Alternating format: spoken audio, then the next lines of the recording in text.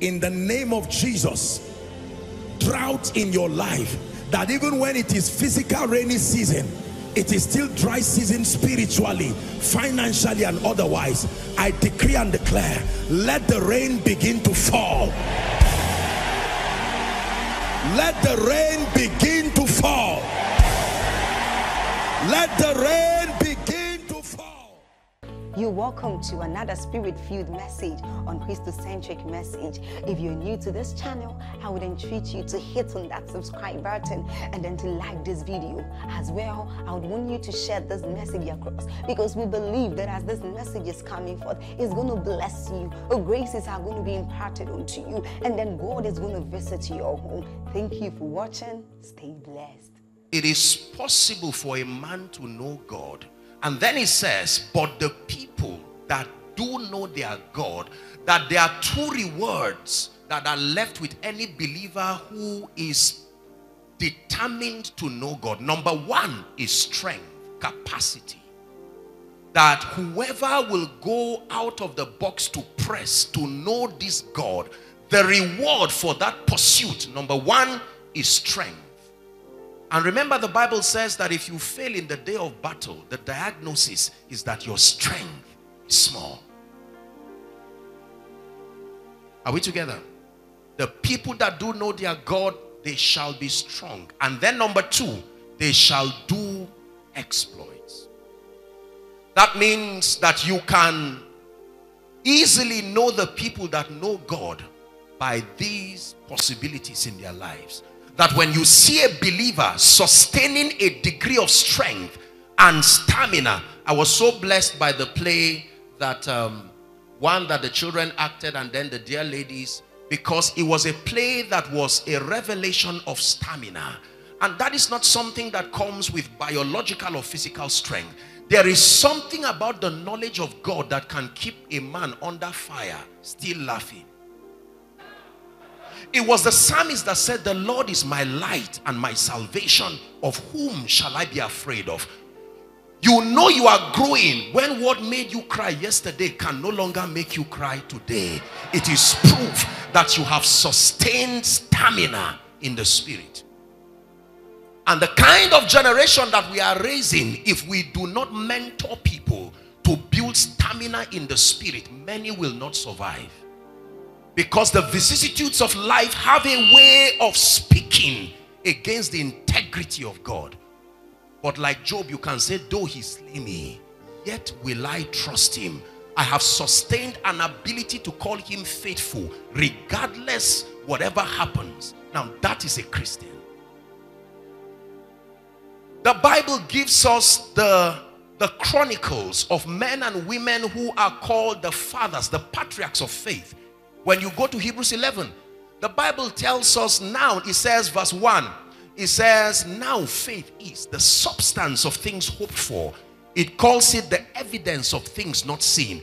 And then the Bible says, For by that faith the elders obtained. That means every testimony that followed their manifesting faith is called a good report, including death. A good report. Are you following this scripture now? Then the Bible says, through faith we understand, verse 3, that the walls, the cosmos was framed by the word of God. So that the things that appear, that they came from a realm that was invisible. It now leads, continues, by faith Abel offered, by faith this happened. Then the Bible says, time will fail me to talk of Gideon and Jephthah and Barak, men who through faith subdued kingdoms, wrought righteousness, shut the mouths of lions, it says women who received their, de their dead back to life. Then he says others died without receiving the promise. He called all of them faith. So faith does not only bring to life, faith can also make to die. And the Bible calls it a good report. Listen, believers, this is the kind of stamina that will be needed in these days. They that know their God, they shall be strong, and then they shall do exploits. John chapter 17. Jesus is praying now. This is the real Lord's Prayer. What we call theologically speaking as the Lord's Prayer was the mentorship session of Jesus, teaching the disciples to pray. It was part of the Beatitudes. He was teaching them on the character of the kingdom. And in one of those lectures, he began to teach them to pray. But this is Jesus praying to the Father. Are we together? John 17, verse 1. Then these words spake Jesus and lifted up his eyes to heaven and said, Father, the hour is come, glorify thy Son, that thy Son may glorify thee. Verse 2 As thou hast given him power over all flesh, that he should give eternal life to as many as thou hast given him. Read verse 3 if you are a Christian. Ready? Read. One, two, read. And this is life eternal. Uh-huh. That they might know thee, the only true God, and Jesus, whom thou hast sent. Wow. That means eternal life is not just something you receive alone. It's a journey, a progressive journey that is the unveiling of the Christ. So you receive Zoe, the life of God, the Spirit of God, but the knowledge of the Holy One is a journey that you will continually explore. And the Bible says this is life eternal. The pursuit to know Him. Hallelujah. It is powerful to know God. I think for me, I would argue that the challenge with our generation is that we are not a people of conviction. We're a people of loyalty, correct. We're a people of education, correct. We're a people of intelligence, correct. But we're not a people of conviction. Our convictions dwindle at every challenge. It is proof that there is no confidence. The early church were people, men and women with solid conviction. They would die smiling because they, they, they stood upon something that was more real than any challenge. Now, for instance, you can find an individual just having a delay one, two years, and is enough to back out of the Christian faith. It is proof that you do not know God. There is something about God when you know it's like occult, it's an initiation. It is till death do you part. In fact, not even death can do you part. Are we together? Conviction. You are strengthened you are not trying to allow God bless you to prove he is faithful. You have been, you have come to a point where what he does or does not do has nothing to do with your definition of who he is. You know he is faithful. That you can stand before a dead body and still say, Lord, you are faithful while you are casting that dead body to the ground and people say, I think you should find fault with God, and you say, No, He ever remains faithful. My experience is too small. Scripture has been proven, tried seven times. So if God is called faithful and true, then let God be true. And every man, including me and my situation, a liar. Is God helping us? So the Bible says that the people who know their God, they will have strength, stamina, stamina, the fortitude to remain, the ability to be unbending. That when all is said and done, you are still standing. He says, haven't done all to stand. Stand. The Bible also reveals to us that God wants to be known again and again. Jeremiah chapter 9, please. Then I'll share one or two things. I hope that we gain time. Jeremiah 9 from verse 23. The Bible says the pride of the believer in this kingdom. Please look up.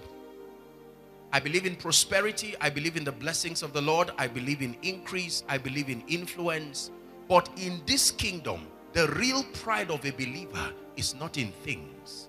The real pride of a believer is not in accolades and the achievements. For Solomon called it vanity. He said, All is vanity, not some, all is vanity. Are we together? This here, ladies and gentlemen, is the pride of the believer in this kingdom. And here's what it says Let the wise man not glory in his wisdom, neither let the mighty man glory in his might. Let not the rich man glory in his riches. 24. But let him that glorieth glory in this. Help me. That he understandeth and knoweth me, This is the pride of the believer.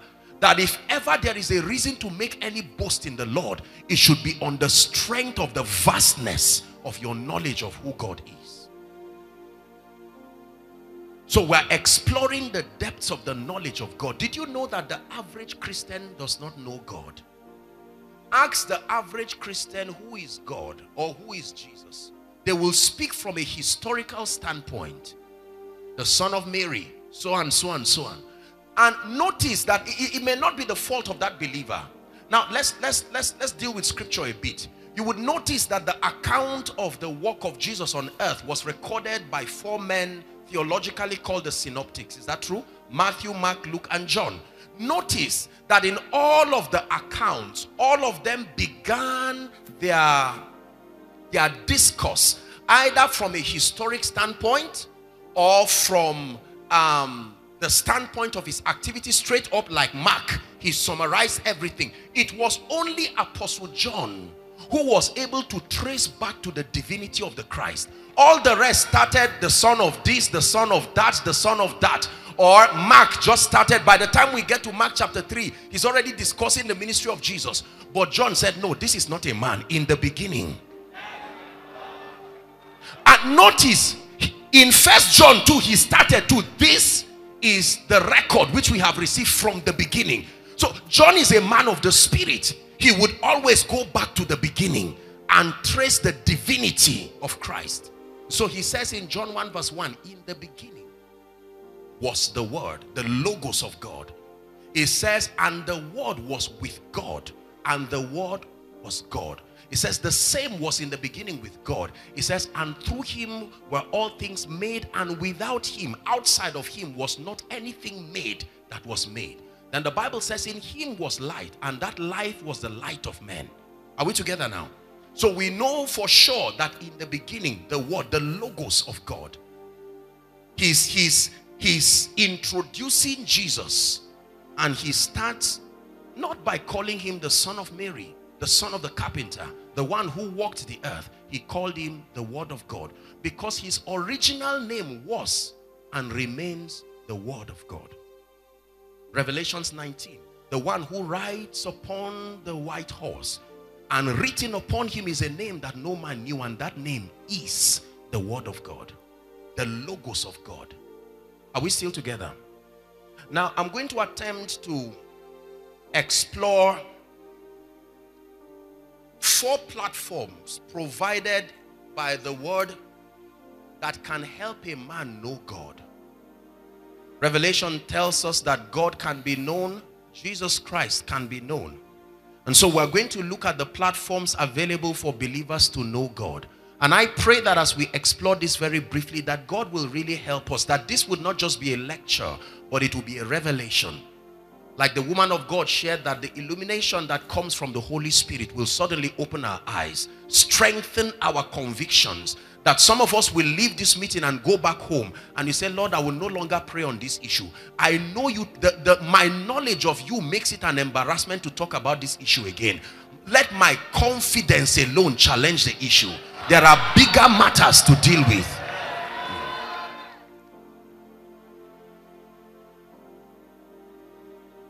Satan loves attention. And ignorance is the system that provides that attention.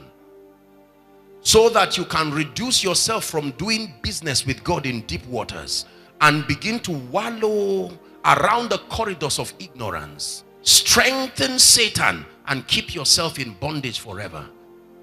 Knowledge is like a lift that will take you out of the grip of Satan to a realm where you can deal with God on matters of territories and nations. Are we together? Number one, very quickly. The first platform provided for by scripture or by the dealings of God to know God. The first biblical platform to know God is scripture. Please write it down. I'm being very simple and basic because it's important that we get this. Scripture the first platform given to help a believer know God is the scripture. Second Timothy, please, chapter 3 and verse 15.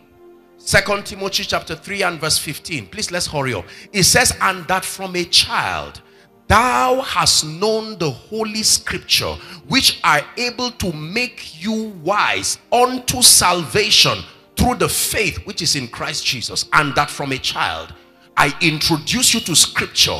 Are we together now? As a platform to help you know God.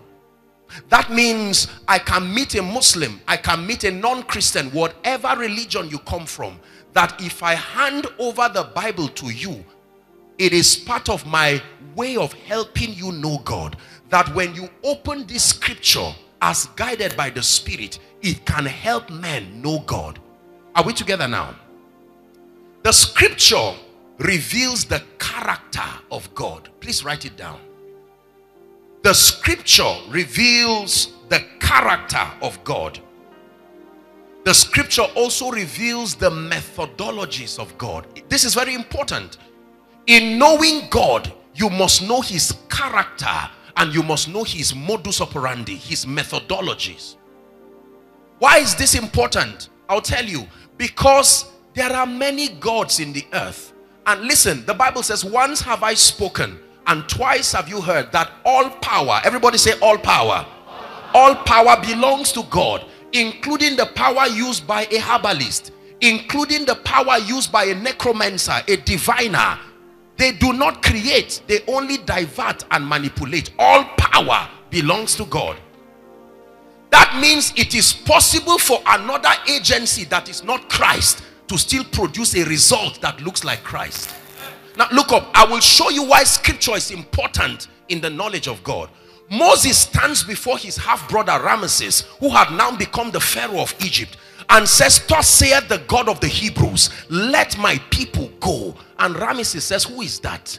Because we have thousands of gods already, and we do not have that name in our archives. So who is this new deity that you met that has the audacity to send you to the Pharaoh for an exodus of God's people? What proof did he give you? And Moses took his rod, threw it to the ground, it became a serpent, and Ramesses laughed. He said, Jannes, Jambres, come and show this man that Egypt is the center of witchcraft.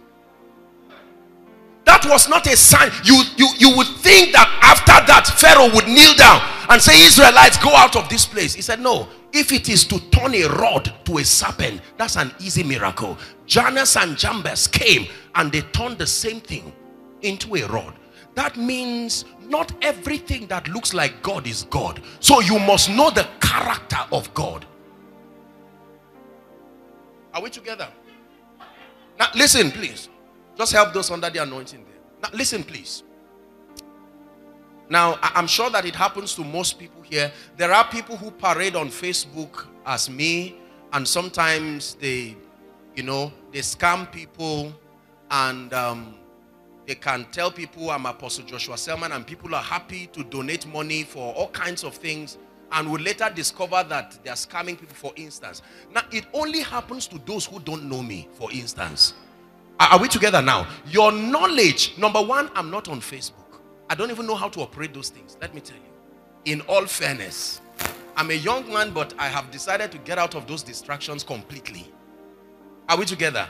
So whoever says I am me, that I'm most likely on a trip somewhere. So your knowledge of me becomes an immunity against those kinds of things. But I know whom I have believed. There is a way God walks. There is a way God cannot walk. The Bible says, follow them who through faith and patience obtain. That means in the economy of God, you will always need faith. When people obtain things and you do not see faith and patience, run away from them. Because in the knowledge of God, He will never replace that equation.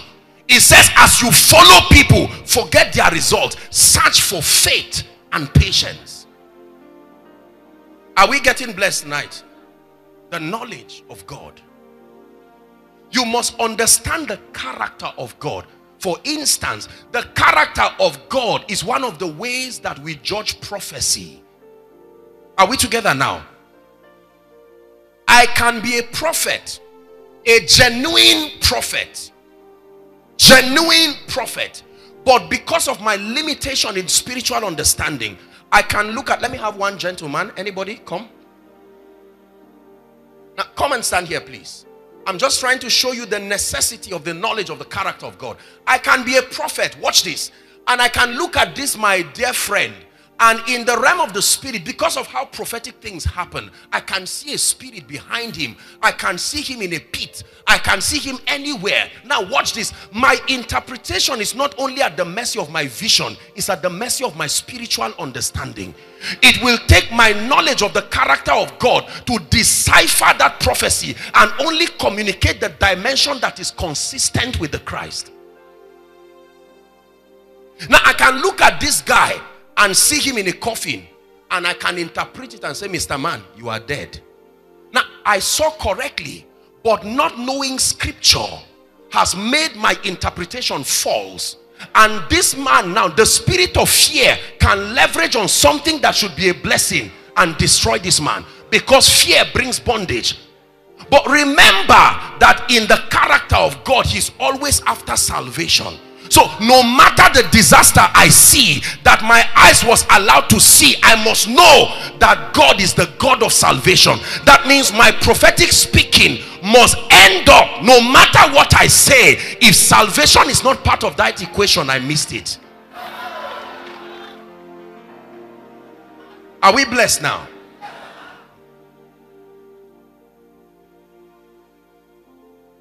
The character of God. The Bible says the Lord is gracious and compassionate. He is slow to anger. Slow to anger, but he is rich in love.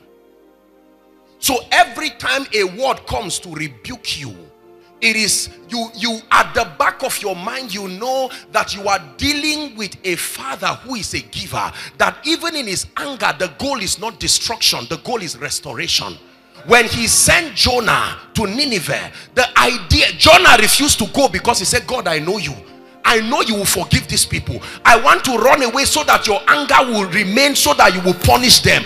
I know you will make me suffer for nothing. They will fast and you will forgive them. And that's exact. That was what led Jonah was not a rebel. Jonah was angry. Lord, why will you forgive these people? Because there was something about God he knew that the Lord is gracious and compassionate, slow to anger. There are things when you know about God, there are things nobody can tell you again. Listen, Another revelation of God is that I have loved you with an everlasting love and I have drawn you with my loving kindness. The only way to understand that is marriage. Imagine a gentleman who is trying to look for a wife. You know what men do when they want women? They can stand in the rain for hours. And the lady say, I'm sorry for keeping you. There, no problem. I mean, water, anything for you. Now, watch this. That is the kind of picture the God of heaven is not ashamed to be vulnerable over his bride. He says, I have loved you. Man will sin and leave God away, and God will say, I will forget about you. And after one year, he will start looking for a prophet. He will say, Please, can you go and tell these people they've sinned against me, but I can't forget them? So, why will God forget my family because my grandfather was a wizard? In the midst of that wizardry he will still find a prophet in that family. In the mid no matter the destruction his love will reach beyond the dust and the rubbles of witchcraft and find somebody that will call upon the name of the lord. No shadow you won't light up mountain you won't climb up coming after me there's no wall you won't kick down, lie you won't tear down. It is because of this knowledge of God, I can say, Rejoice not over me, my enemies. It is true that Jesus died, but he only died for three days. While you are talking about the one that died, he's back to life. So be careful when you conclude on people, because while you are celebrating the death, Jesus is already alive. He told two men in, in Emmaus, that he's already alive and is risen. When you know this about god then you will be patient like he is. Sit down. Now listen to me. Are you getting what i'm saying now? Please make sure you are not just shouting for nothing. Understand what i'm teaching you. You know I travel a lot and sometimes I have lots of friends, prophets, apostles around the world. And sometimes they can call me and say, Apostle, um, where are you going to? And I say, I have a ministration. I have a ministration to catch up. And they say, please, I don't want you to go. Why? I just saw a ghastly motor accident. And they are not lying. They saw it. Now, if I follow every prophecy, I will not go anywhere again. Because every day the devil wants to kill me. That I know for sure. Now, listen very carefully. I'm not saying to despise prophecy. I'm giving you intelligence that comes from the knowledge of scripture. Are we together? But then I am also aware, listen to me. I am also aware that when God walks with you and holds your hand, you can be in fire. The three Hebrew boys, they didn't have to go out of fire to be saved. It is not all the time you go out of fire. Sometimes you need to just bring God into it and continue what you are doing.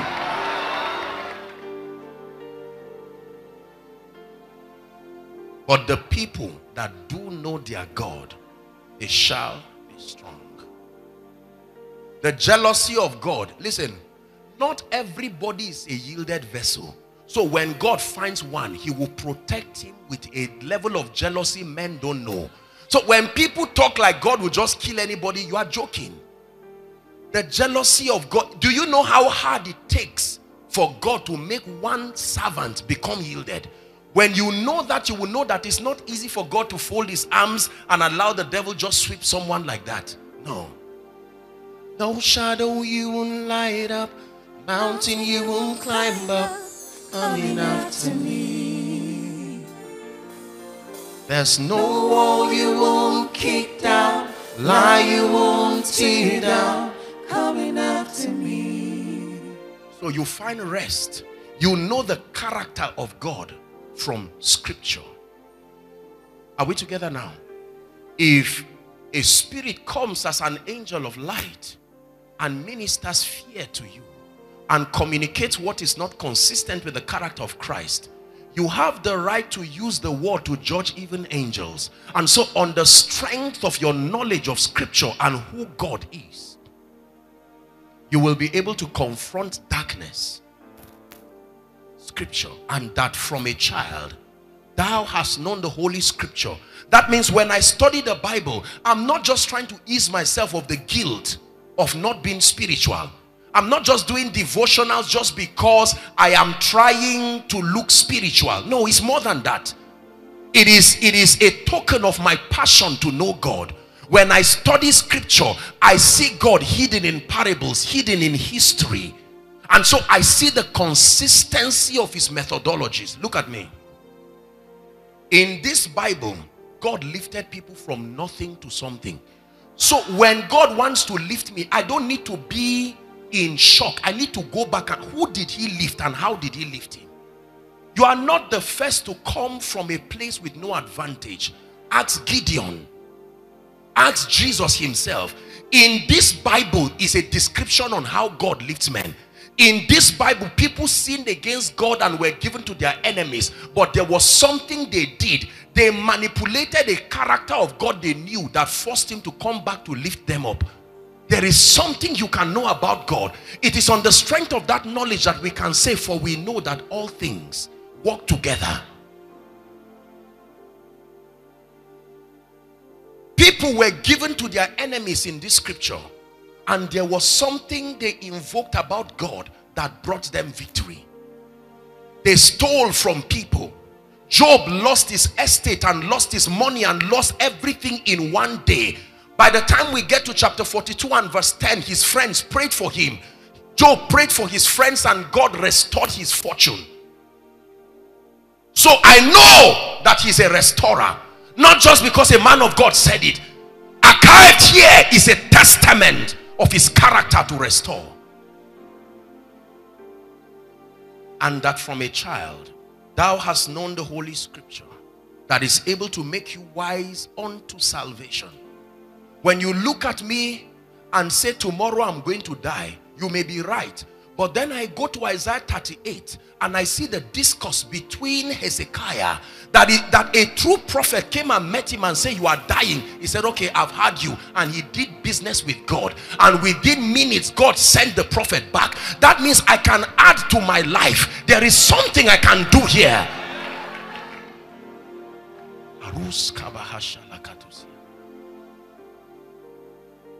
What do you know about God? And what don't you know about God? Fear thrives on the loophole, the gaps in our knowledge of God. There is something we do not know about God that empowers fear. If I see the spirit of death now, I will pass it and it will pass me. I will not run away. He's going about doing his work. At least I know it has access to the earth. Are we together?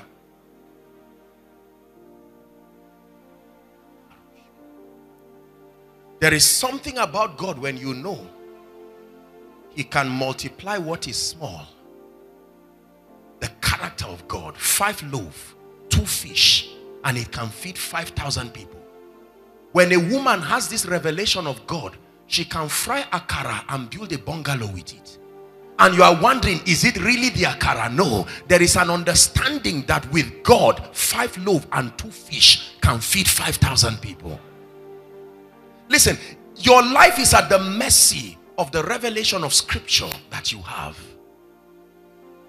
Are we together? So scripture is one platform to know God. God bless you, sir. Let's hurry up. Number two. The second platform to know God is through the names of God. Please write it down. The names of God. Thank you, Jesus. Exodus chapter 6, please. Exodus chapter 6.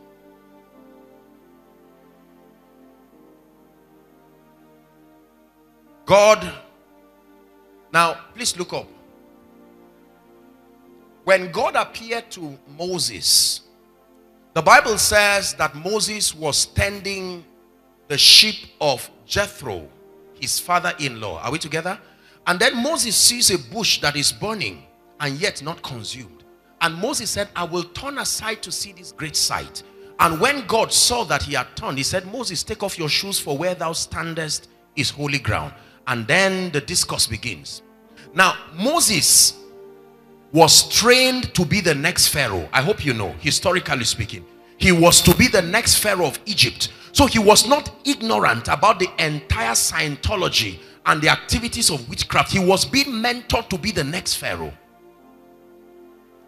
Now, he hears from this deity who calls himself the God of the Hebrews.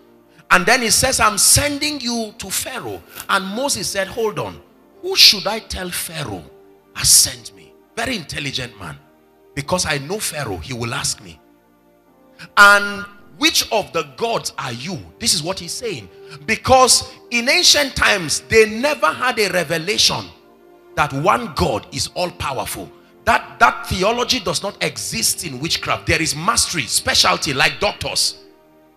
Are we together now? So you had the God of fertility. You had the God of war, the God of thunder.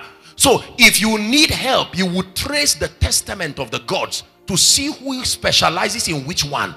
And then the method for invoking him is also there. Are we together now? So they had thousands of gods.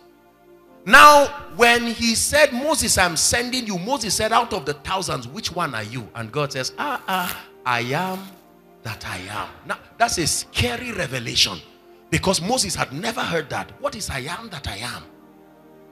In other words, Moses, I am the summation of all the dimensions those gods are trying to mimic. The one who stands before you is not one who needs any assistance. I am that I am. I am the summation of every dimension that you ever see in any deity. He says, Go and tell him. I can become anything and anyone you desire. You do not need to know the God of fertility and then know the God of thunder. I can do everything. I control the weather, I control men, I control the earth. That's why he used the nine plagues. Remember, all of those plagues were managed by different gods, but it was the same person who was causing the, the plagues, the God of the Hebrews. Listen, God is unlimited, unfathomable, truly speaking. But because of his love to help men know him, he fragments himself dimensionally so that he reveals himself to men dimensionally. Are we together now? So the nation of Israel, in their pursuit of God, he began to break himself to different dimensions. And every dimension they saw, they captured it in a name. So when they saw him as righteousness, they called him Tsidkenu. When they saw his healing dimension, they called it Rapha. Are we together now? Yes. Sabaoth. And all of these names is an attempt to capture dimensions of God. And do you know that every generation has a mandate to leave a new name of God to other generations coming? We are not just to look at the Bible and say the God of Abraham, Isaac, Jacob, Jehovah Rapha. What name will our children know that we give? The, your experience, your lifetime is too long to not have an experience with God to find a name. That name doesn't have to be a word. The name can be a song. The name can be a sentence. There are mothers here who, when they meet them and they say your child is in ICU, they laugh and raise a song. They got that song after five years of not having that child that experience pushed them to a point when they sang that song god told them i will give you a son. So now that that song is in trouble they know the name they can invoke that will call on that god. In other words where is the god that came after five years? Is he not able to take my child from icu you are in trouble if you know another man's god you must press to a point where he becomes your God. But the people that do know their God. Are we together?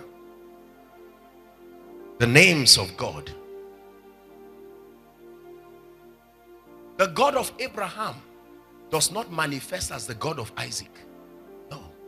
It's the same God, but it's not the same dimension. The God of Isaac does not manifest as the God of Jacob.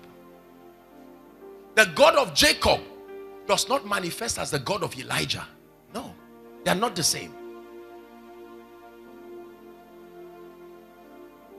So when you call on the God of Abraham, there is a way God moves. When you call on the God of Isaac, there is a way God moves. When you call on the God of Jacob, there is a way God moves. When you call on the God of Apostle Danjuma Musa, there is a way he moves. When you call on the God of whoever, there is a way he moves. Your experience must make God attach a dimension to your name.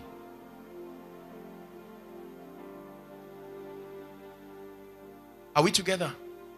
This shall be my name forever. The names of God. He breaks his names, himself into names so that you can study him. The Bible says in Psalm 24, the earth is the Lord's and its fullness thereof, the walls and all they that dwell therein. It says, For it has founded it upon the sea and established it upon the waters. Then it says, Who shall ascend to the hill of the Lord? And who shall stand in his holy place? It says, He that hath clean hands and a pure heart, who had not lifted up his soul unto vanity nor sworn deceitfully. Listen, it says, Whoever that person is, he shall receive a blessing from the Lord and righteousness from the God of his salvation. Then he says that there is a generation. This is the generation that seeks thy face, O Jacob. Other versions will say, O God of Jacob. So when it comes to encounter, the personality that God uses to describe that dimension is Jacob. And to understand this, you must go to Genesis 28 and Genesis 32, where Jacob wrestled with God and said, I will not let you go. Until then, there was no God of Jacob, there was only God of Isaac and God of Abraham. But a man created a name. God had to brand his impact with Jacob and said, Every time you want to have an encounter with God, understudy Jacob, the God of Jacob. The Bible says Jacob wrestled with God all through that night. He says, Leave me for the day breaketh. And Jacob said, I will not let you go until you bless me. He says, What is your name? He says, Jacob. And then he says, Thou shalt no longer be called Jacob, but Israel. For as a prince you have had power with God and prevailed. He touched his thigh. And the Bible says, He disjointed him. And then the sun arose and he called the name Peniel, the face of God.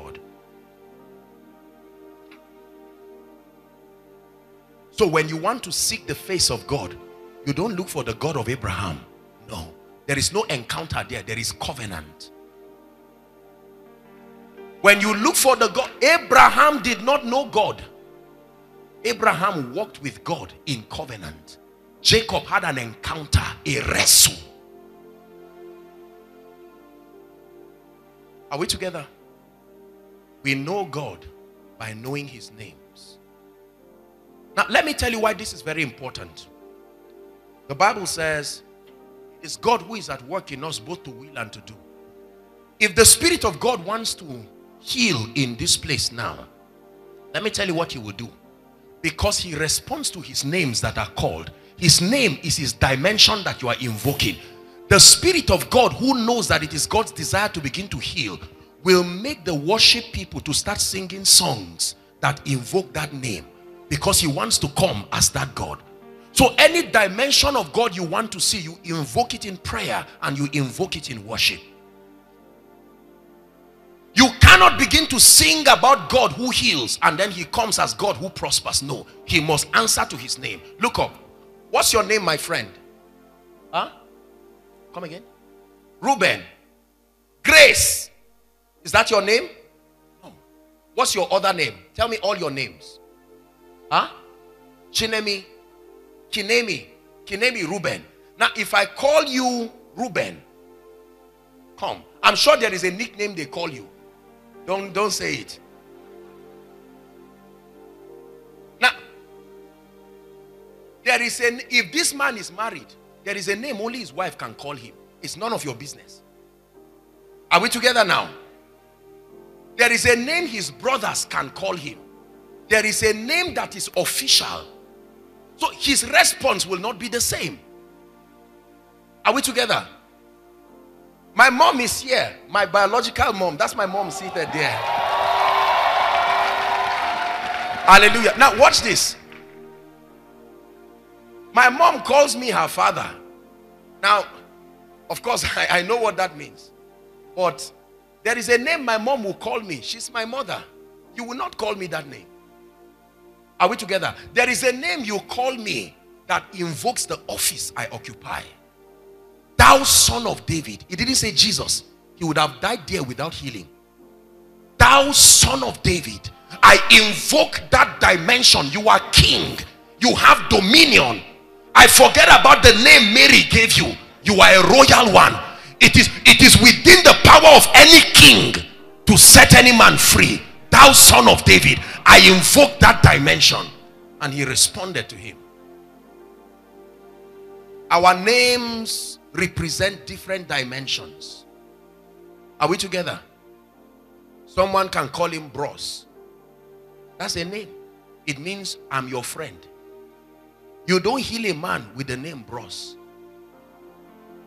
Are we together?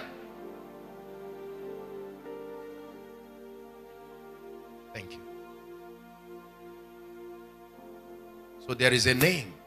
Hmm. Wherefore God had so highly exalted him and given him a name. The name is not Jesus. I hope you know. no, the name is not Jesus. Jesus is the name that was. There are footballers called Jesus today. Their names don't carry power. If Jesus were Nigerian, he would have a name that has nothing to do. It just means It is the root word Joshua, Jehoshua, the one who saves. It's just a description of his office. The Bible says a coronation was held for Jesus in heaven. Philippians chapter 2 from verse 5. That a coronation was held and a name was given to him. An office. And it says at the mention of that name that every knee should bow and every tongue would confess of things in the heavens, in the earth and under the earth. Are we together? And the name, it says that they must confess that Jesus is, that's the name, Lord. The word Lord means absolute owner. The earth is the, that's the name that was given to him.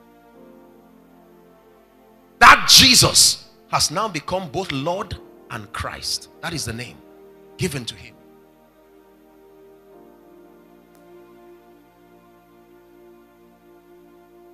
So we know him through his names. A few minutes and we'll be done. Number three. The third way we know God is through the revelation of Jesus Christ. The revelation of Jesus Christ. Colossians chapter 1, please, and verse 15. Colossians 1 and verse 15. The Bible calls Jesus, please look up, the image of the invisible God. The, the God that I could not see. Now Jesus has come as the expression of that invisible God. The word logos means the thoughts of a man that seeks expression. The thoughts of a man personified. The fullness of the Godhead represented bodily in the Christ. Are we together? So Jesus is called the image of the invisible God. Now, if if you have a mirror and you cannot see me, but the mirror can capture me, you can look at the mirror and accurately describe me because the mirror tries to give my image. Are we together now?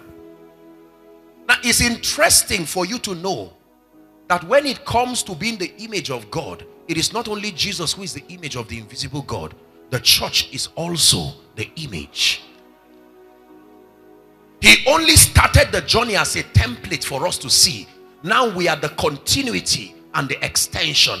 That means when I step in somewhere and they don't know who God is, I tell them just give me 10 minutes of your time and look at my life. Any part of my life should be able to describe something about God. That's why he gives us power. That's why he gives us wisdom. That's why he gives us prosperity. That's why he gives us intelligence. All these are equippings that will help us to become worthy images. Are we blessed tonight?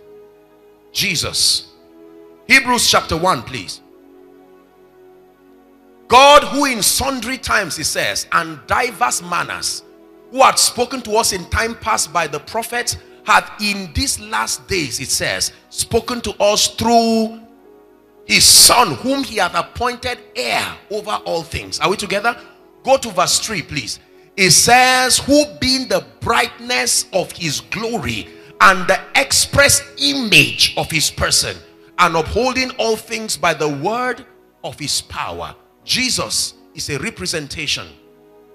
Now, when Jesus walked the earth, he came as a correction of our perception about God. Because until Jesus came, men could not really know God. And so they would attribute both the things that were of God and were of other spirits to God Almighty. And so Jesus said, No, watch my life and correct like a marking scheme. Everything you see me do is what God does. Whatever I do not do, God does not do. So he started correcting their perception. Until then, they had all kinds of ideas about God. But Jesus came as the revelation of the Father. So you would look at Jesus and correct what they told you about God.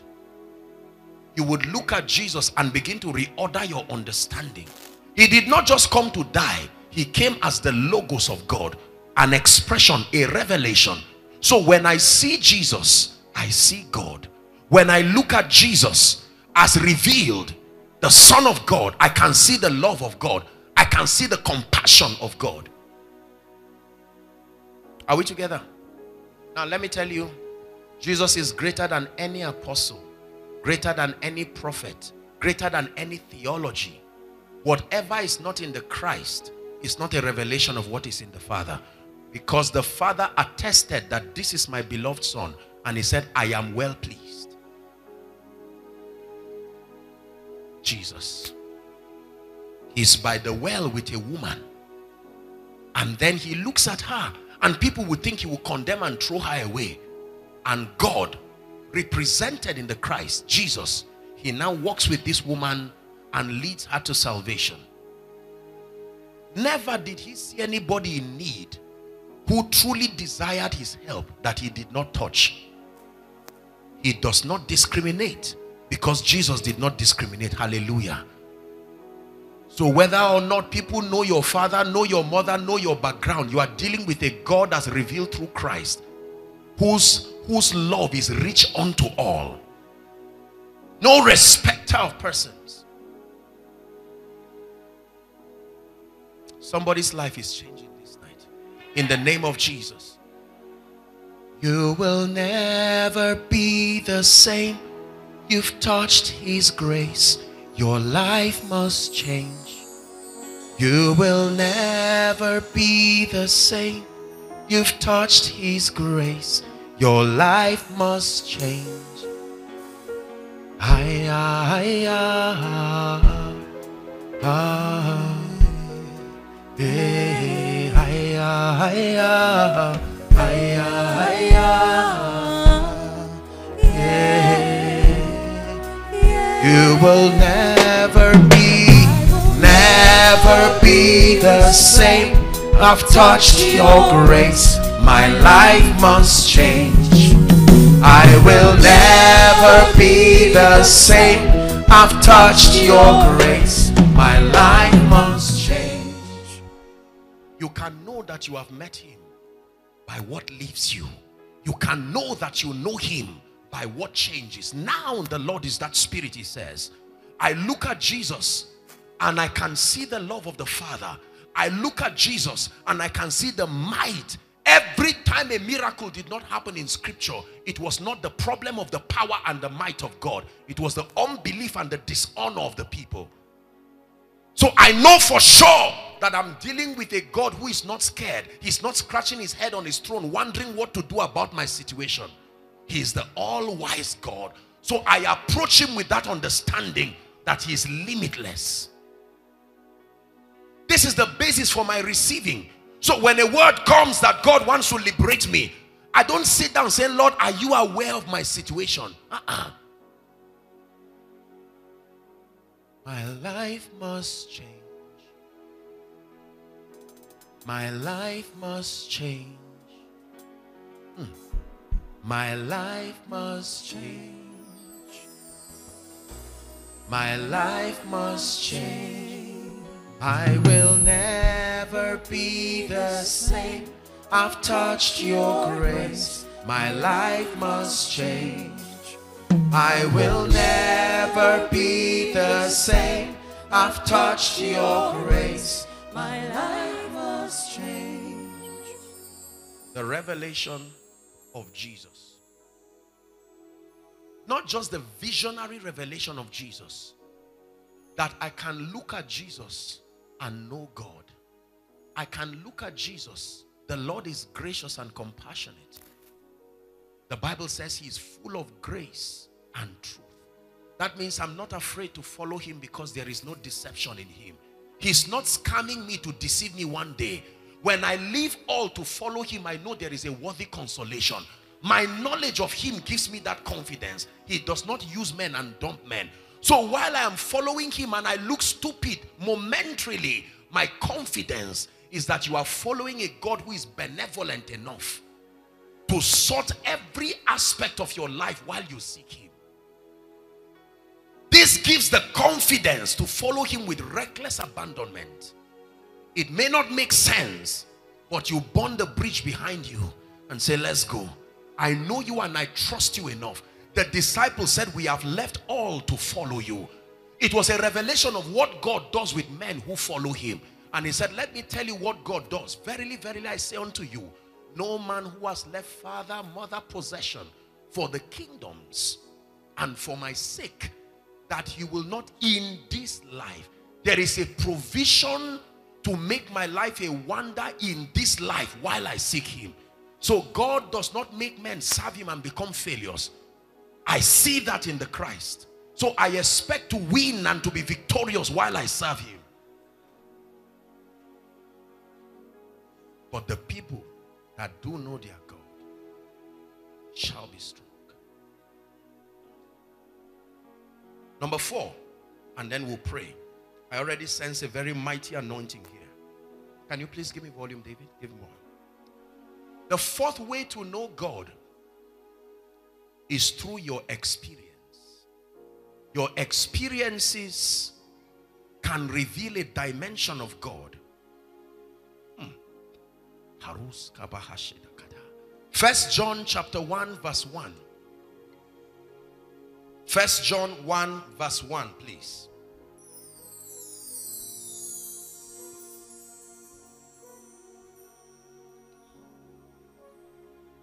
First John 1 verse 1. That which was from the beginning, which we have, talk to me please, which we have heard, which we have seen with our eyes, which we have looked upon, and our hands have handled. Listen, in this kingdom, you not only believe God, you can taste and see. There is an experience to our dealings with God. Your experiences can reveal a dimension of God to you that no sermon can reveal. There is a pain factor that when you go through in life, it gives you a revelation of God that no divination can take out. Are we together? Oh God, you are my God. Early will I seek you. My heart, my flesh thirst for you to see your power and your glory as I have seen in the sanctuary.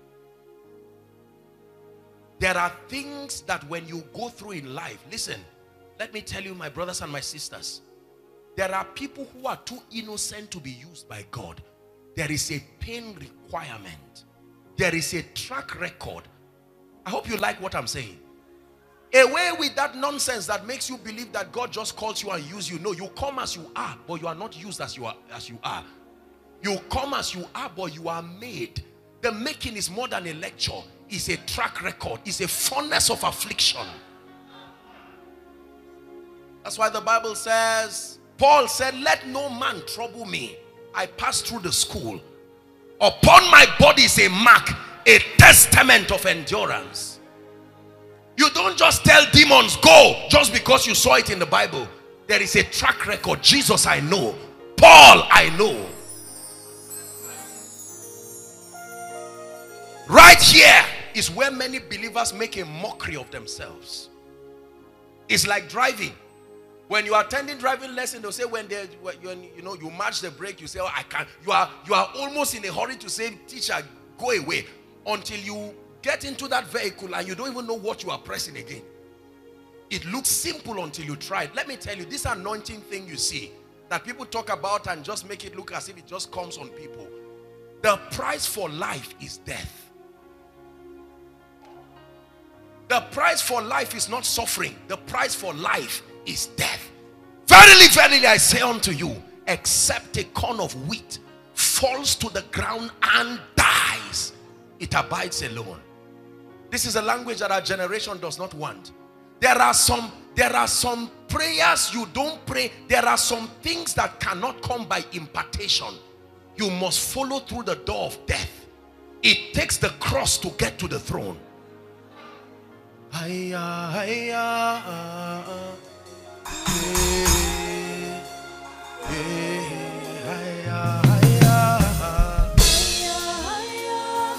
The price of your experience revealing the Christ. Listen, God will not just make a generation listen to you because you have what to say. It takes the track record of blood and pain and death. This is my beloved son. What was he before? What was he in a manger? What was he at age 12? The healing anointing will not just come because hands were laid on you. Do you know what it means to be sick? If not, you are not qualified to be in the healing ministry. How then can you build the compassion that releases the anointing? Compassion is the ability to be touched with the feelings of people's infirmity. There are times that God will pass you through what you will be saving people from. No, no amount of prayer will deliver you. He will grant you grace to pass through. I teach you sound doctrine to prepare you. That is why you can be talking against God's anointed. Whether you are right or wrong, God will act like he's not seeing it. Because there is blood dripping from that altar. A testament of death. Listen to what I'm telling you. Help those under the anointing. I'm already seeing, please help me we're going to i will take time to minister to you but i want you to bring them out. I just saw light and i'm seeing there is an anointing. I'm seeing the number 21 please bring them out. 21 people. I'm seeing an anointing. Come on them. Please bring them out now.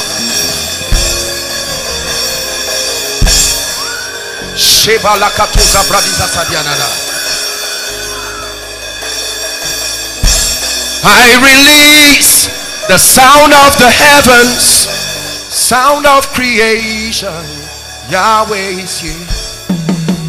I release the sound of the heavens sound of creation Yahweh is here. I cry holy holy holy unto Yeshua. Shekinah is here. I cry holy holy holy unto Yeshua Shekinah is here Yahweh Yahweh hey, hey, hey, hey. Yahweh Yahweh hey, hey.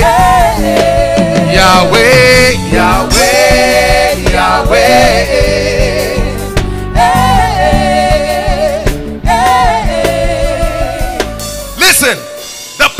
for life is death. The price for all of God is all of you, not your heart, not your intelligence, not your certificate. All of you. The price for the anointing is not just fasting and prayer, it's death. That you want to carry the grace, the power, the glory of God that speaks over a territory. It takes more than titles, it's a track record of death.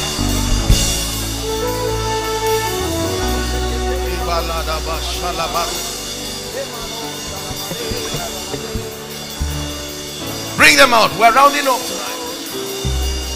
How can you be the same? No.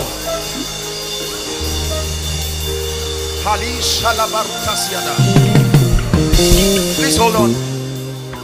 Please don't miss tomorrow's meeting. I'll take our time to minister, but don't don't miss tomorrow's meeting. But I want to pray. Um, can you spare me a few minutes, sir? Now, please, I want you to help them. They are going to start running physically. I'm seeing the spirit of delay being broken and a grace for speed coming on people. They will start running now. Please help them so they don't injure themselves. In the crowds, they are not just here. Please help them. An anointing is coming on you. I crush delay by this apostolic and prophetic anointing. I don't care for how long now the Lord is that spirit. I come with a rod of a higher priesthood and I declare in the name that is above all name. Bring them out. I crush delay here at this conference. Never to be the same again. Help that woman, please.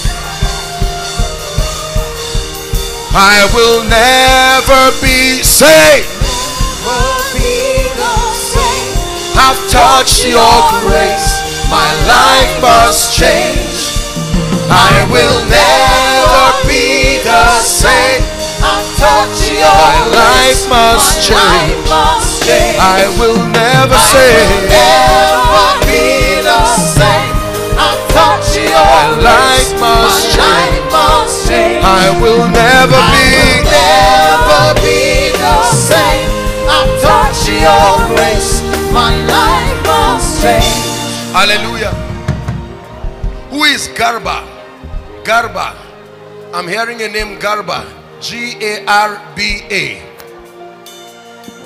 We're going to round up. I'm not taking too much time. I'm hearing that name Garba. Garba. Who is Janet? Janet. J-A-N like Janet. Please, who is that? I just want to talk to that. You are a mother. You are an elderly woman. Who is that? Is, is there someone like that? Hiya, hiya,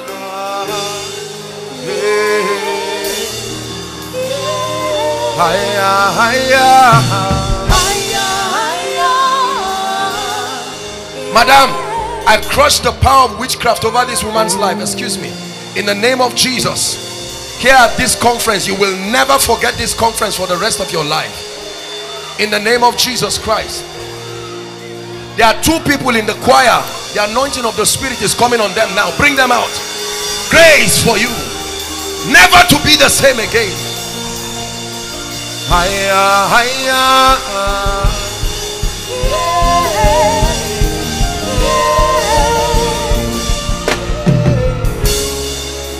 Madam, where are you coming from?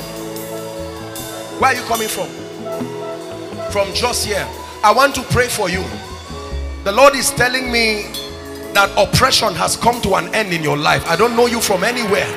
But mama, can I speak to you? That in the name of Jesus, hear me. Between now and January 15th, write it down. Your life will change in a way that will surprise you. This is by the Spirit of God.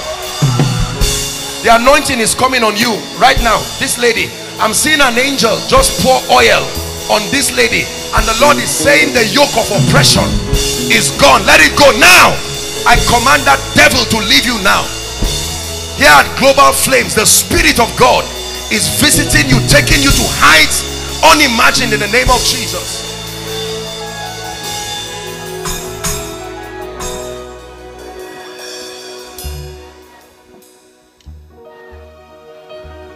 There is a pastor here. Please just give me a few minutes. I'm seeing a strong anointing coming on a man of God. You are, you are not a member of this church, this ministry, but I'm seeing a strong anointing. I don't know where the pastors are, but I'm seeing, please, if that happens, I want to speak to that person. These are pastors here. There is a man of God. Please bring him out. Bring them. I'm seeing a strong anointing. Never to be the same again. I don't know your ministry. I don't know what you do. But you're about to step into a dimension of grace. I cast my crown before the highest royalty. I am undone before your glorious majesty. I cast my crown before the highest royalty. I am undone before the glorious majesty. You're the King of kings and Lord of lords. You are the King of kings. You are the Lord of lords. Your glorious majesty. Yabone nakao Sarking salama Look at me. Sir You are stepping into a strange realm of the prophetic. I don't know you. You are an elderly man. But the Lord is saying I should prophesy to your life And shift you to a dimension in the spirit. I stretch my hands towards you that you drink of this ancient wine that has turned people into signs and wonders. Receive that grace. Step into a new dimension of the anointing. You're a pastor? You're a pastor sir? I don't know you but I'm seeing a strong teaching anointing that is coming upon you. And the Lord is saying that he's going to begin to take you to territories. You are in Jos here you're domiciled in Jos. Yes, sir. I'm seeing God opening doors for you that are beyond the shores of this city. Shout Jesus as loud as you can. Go ahead. Jesus! Step into that anointing. Step into that grace. You will never be the same. In the name of Jesus Christ.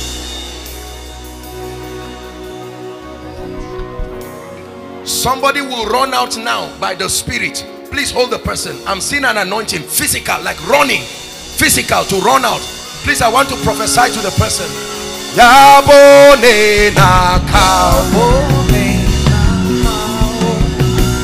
Sujata de nakao Sirking salama Sirking al oh, oh, oh, oh.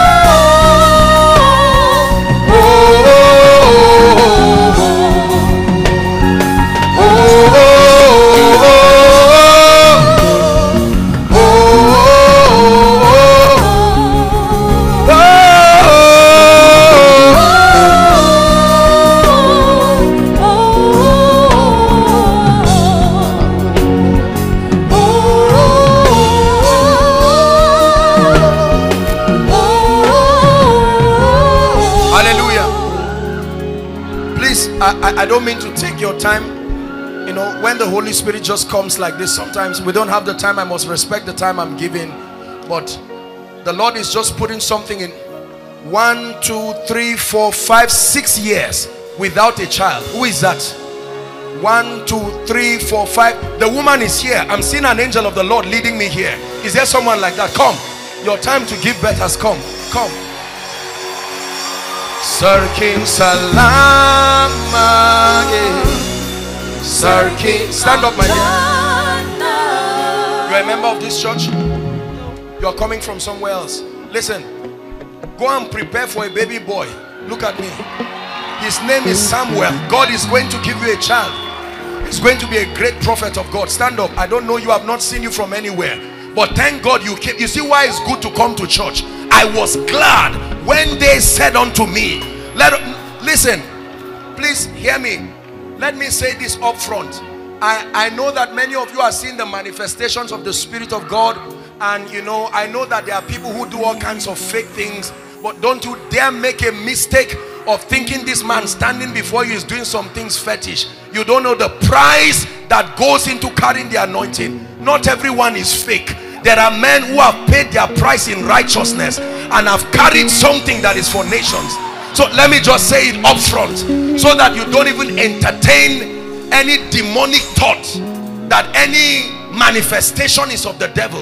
I was born and bred in this city. Not everybody is a wizard. Not everybody is fake. There are people who have paid their price genuinely and have been given graces for nations.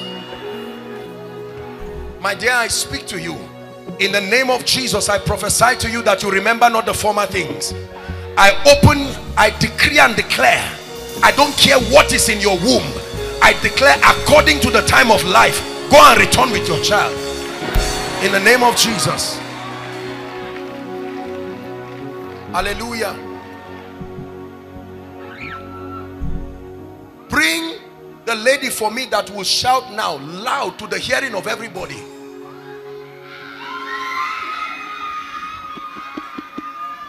the bible says the shouts of joy and victory shall not depart from the tents of the righteous ah god is breaking chains in this place breaking chains in this place when they ask you where did you go to you say i'm coming from church you don't get this in a beer parlor. You don't get this in a lecture room. It is only in the house of God.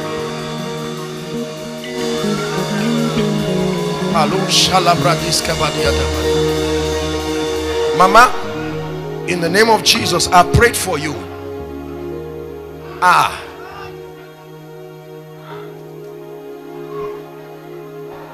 The Lord is asking me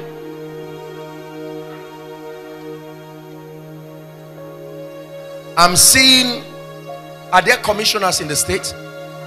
I'm seeing a commissioner in a ghastly motor accident and we have to pray. This thing I'm seeing, the Lord is showing me now. Who is that? Is there a commissioner here? Sir, I'm not a prophet of doom. I stand by the God of heaven. Please, you don't have to kneel. Stand, sir. I'm going to pray for you. I don't know you. but I'm seeing a ghastly motor accident with a truck and I'm seeing everybody in that car dead but like I taught you the purpose of revelations like this if we cannot avert what we see then there is no dominion. The real proof of dominion is the ability to superimpose the workings of darkness. We stand as a church and in the name of Jesus sir I pray for you and your family. By the God of heaven you are secured now and secured forever. In the name of Jesus. Hallelujah. There is ah, something is leaving this man. He will never be the same. This man will rise up and be a changed man. There is an age-long pattern in your family that just got broken. This thing. People rise up they get to the top and then they come down in shame. This is what God is ending right now. In the name of Jesus Christ. Hallelujah. Praise the Lord because of this program write it down. I'm seeing the police arrest one two three four five people in Jos who have been kidnapping. I'm seeing this thing happen. Write it down. Write it down. There are a group there are people kidnapping but there are a group of people who are just kidnapping and they will ask to bring maybe uh, uh, 10 million or some wicked amount and say bring I stand by the God of heaven. Let the earth fight them from this night.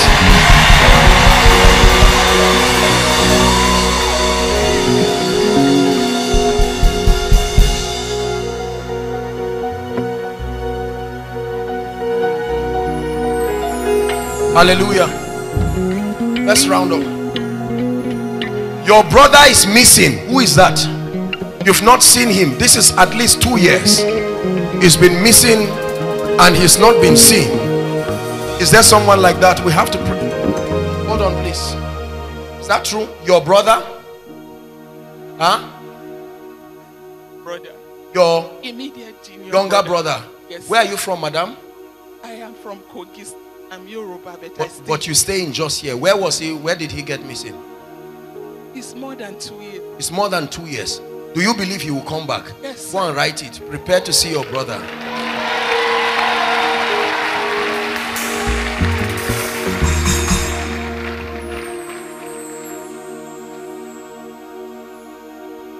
The power of God is going to come on one of you. I have to round up but I'm seeing a mighty anointing. Just come on one of you here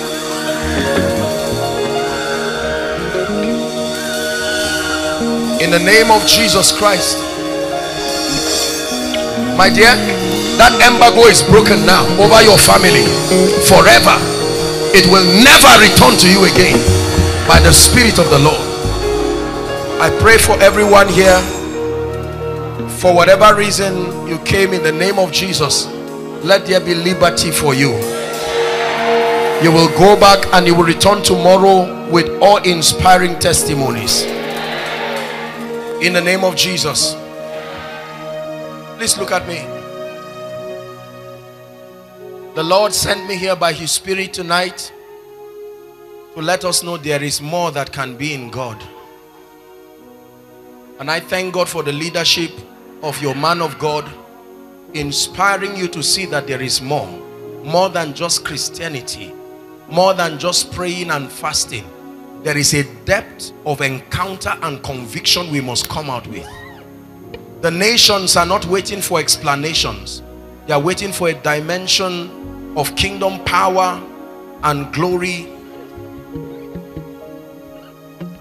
Some of you will go back and this encounter will linger.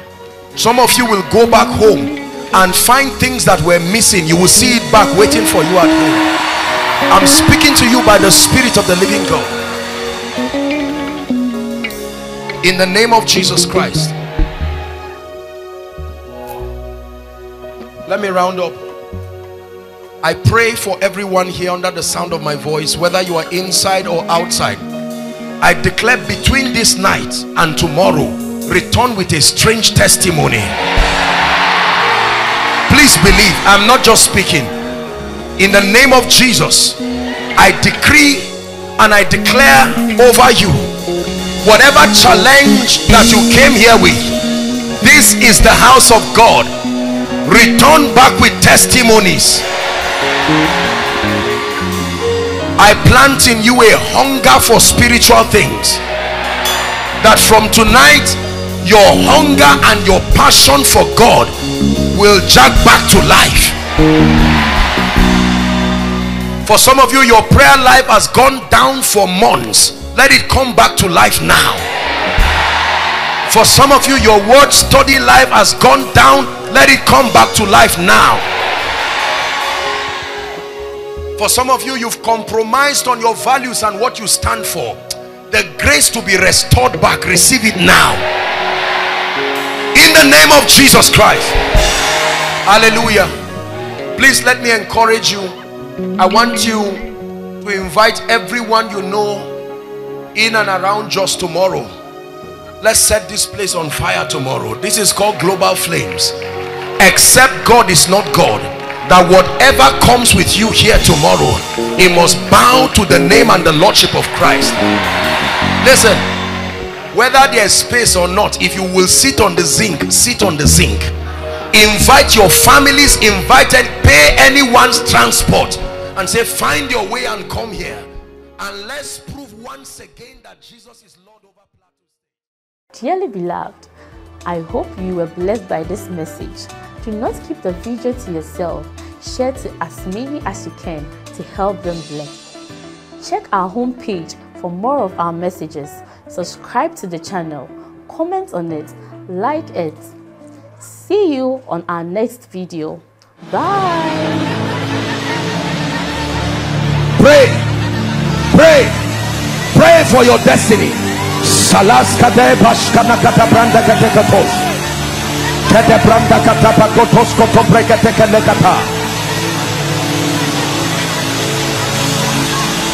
the phase of development. Lord grant me the discipline